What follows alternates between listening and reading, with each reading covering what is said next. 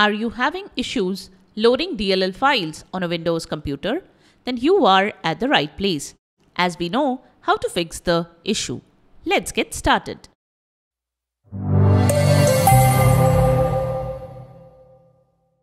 This is the Windows Club. On Windows Startup, if your system cannot or is unable to load a required DLL file and you see the message failed to load DLL, then this video should help you to fix the issue. Let's get started. Method 1. Reinstall the program. Reinstall the program that is throwing this error. You can uninstall it, download the latest setup file and install it. Method 2. Check startup programs. The next thing you can do is check the startup programs following this link, especially the Windows registry startup paths and remove the startup entry to this DLL file.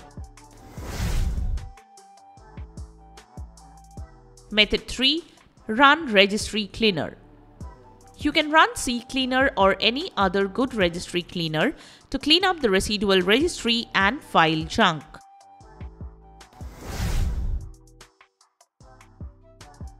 Method 4. Re-register the DLL file.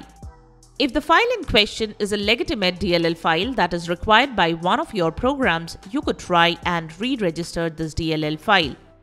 The regsvr32 tool is a command line utility that can be used for registering and unregistering OLE controls as DLL and ActiveX or OCX controls in the Windows operating system.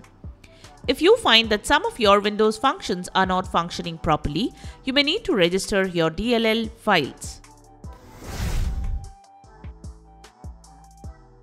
Method 5. Use Dependency Walker. You can use the freeware Dependency Walker to troubleshoot if a specific program of yours is not loading or a service is failing to start with an error pointing to a specific DLL. You can load that program or DLL in Dependency Walker to see which file is failing to load or what module is causing the problem, and then fix it. Method 6. Check details in Event Viewer. If nothing helps, you may need to open the Event Viewer following this link and check the error, message or codes caused for this file. So that's it. Subscribe to the Windows Club for all your tech solutions related to Windows. Thanks for watching.